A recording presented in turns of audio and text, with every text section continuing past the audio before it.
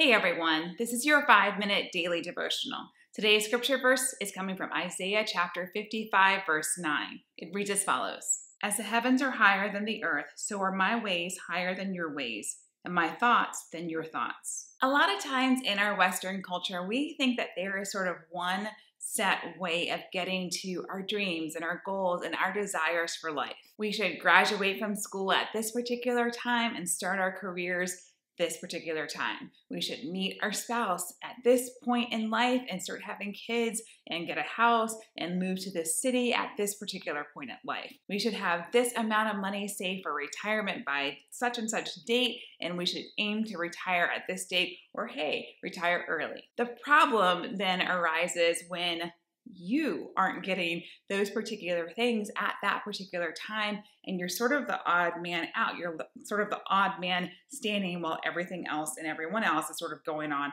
around you. I learned of a story once of this actress who had a lot of miscarriages i mean a lot of miscarriages and she said that she had no problem getting pregnant but she just couldn't carry the babies. Her her body just was unable to carry those children later on at an older age she was able to have a child through surrogacy. You know her, her and her husband were able to have a child through surrogacy and they have a beautiful child now. I learned of another story of this very famous actress very famous actress who has this sister who and her sister has three kids but she hasn't you know gotten married. She hadn't had a family of her own at this particular point.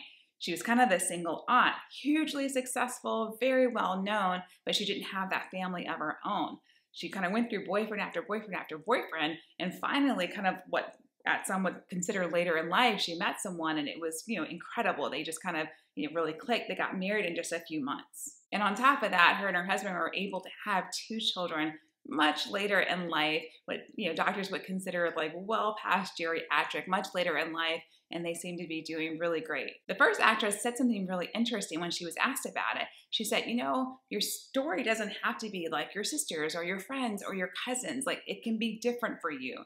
And the second actress said something equally interesting. She when she was asked why she waited so long to get married, she said, "Okay, well, I just hadn't met my husband yet. I mean, all of her boyfriends, she knew that they weren't the one. When she met her husband, she knew he was the one, and they got married quite quickly." Friends, though we sort of all have this sort of one mentality of getting to our goals and our hopes and dreams, God wants me to tell you that there are different ways to get there. He is not some sort of cookie cutter God that says, like, everybody will have this then, and everybody will have that then, and everybody will have that then. No, He has individual plans, individual wonderful plans for each of us. We are all fearfully and wonderfully made. As the heavens are higher than the earth, so are His ways higher than our ways, and His thoughts higher than our thoughts. He knows the plans that He has for us, and they are good plans. And He knows the steps that we need to take in order to get to the very best plans for us. Please don't be discouraged if it feels like everyone else has gotten there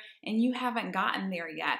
Please remember that God has a plan specifically for you. Sometimes it may feel as though life is sort of passing you by, but we have to get out of that mentality of comparing ourselves and sort of seeing what other people have and thinking, okay, because I don't have that, that somehow you know things aren't great for me i'm not good that's there's something wrong with my story. God hasn't forgotten you about that dream that goal that desire that promise that he gave you. He works everything out for good.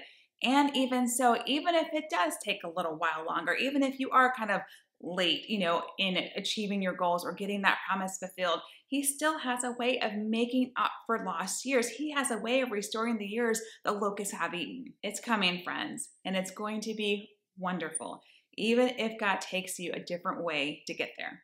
Let's pray.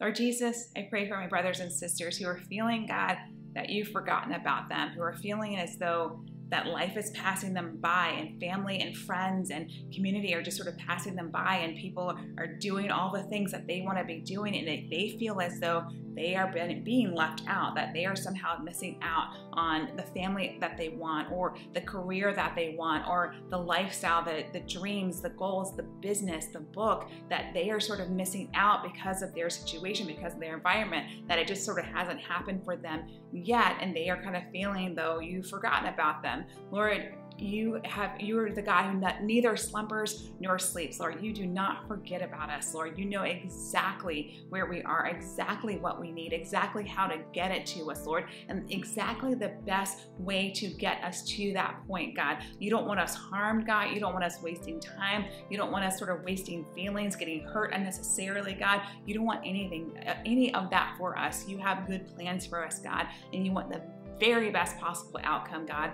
Please encourage my brothers and sisters. Please let them know, God, you haven't forgotten. You know what you're doing, that you are well on your way to bringing that thing to pass, and they are well on their way to seeing the manifestation of that promise. We thank you, God. We bless you. We praise you in Jesus' name. Thank you guys so much for spending this time with me. If you enjoyed this devotional, please be sure to subscribe to my channel, like and comment on this video. I would appreciate it and I would love to have you guys. Guys, have a great day. God loves you so much. I love you guys. I appreciate you watching. I will see you next time, and God bless you.